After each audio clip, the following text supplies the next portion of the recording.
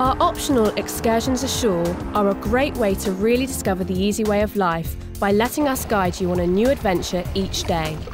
The trips allow you to experience the great variety that Greece has to offer, from the cultural highlights to the best beaches, making the most of your time on each island. Sleepy Kalymnos is a great example. Our tour combines a trip to the stunning monastery of Agios Savas and its fabulous panoramic views. Then onto the picturesque west coast beaches and a chance to take a dip in the crystal clear waters.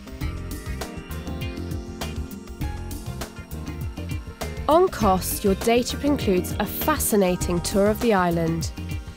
Then you'll board a small boat for the journey to a deserted beach, where local fishermen will barbecue their catch in front of your eyes.